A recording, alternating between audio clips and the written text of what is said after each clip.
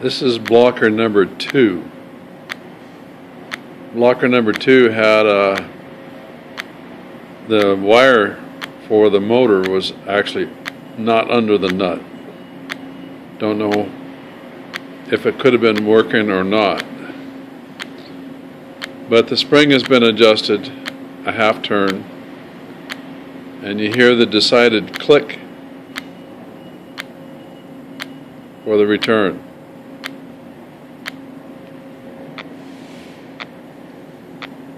This is blocker 7. Uh, work on blocker 7 hasn't been done yet. But you'll notice that you don't hear the decided click on the return. And it's very hard to tell, but you actually get a bounce when it's actuated.